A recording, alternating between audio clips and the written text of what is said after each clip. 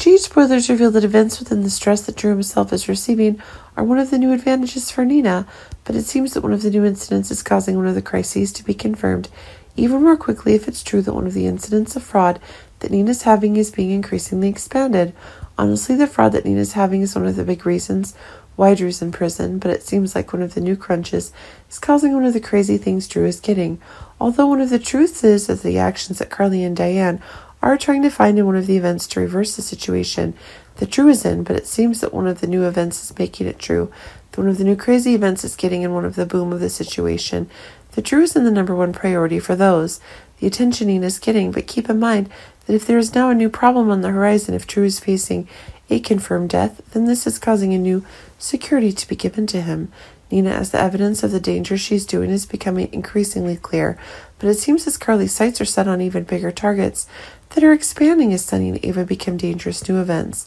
But it seems that one of the facts about the dangers that Drew himself is in makes one of the actions that Nina is making certain implications. But it seems that if one of the dangers that Carly is trying to find out is exactly what Nina is still finding out, the research is increasingly expanding. But remember that Carly's priority is still on finding out who caused Drew's death, and as the actions that led to the troubles in Pentonville are being confirmed more quickly, this is causing Carly to be on the receiving end of one of her new explosive presences. But if Diane is still looking for ways to prove that Drew is innocent of the charges that the SEC is bringing, this is proving that one of the new fights is happening. If Sonny wants to stop the investigation and make sure to focus everything on the trouble within the organization after Drew's death, this proves that Nina's chances of getting away with it are limited. Increasingly assured of a new feature, keep in mind that if it's one of the crazy new events that Nina and Sonny themselves can pull off after the wedding, this is proving to be one of the more tense war storylines in the relationship itself.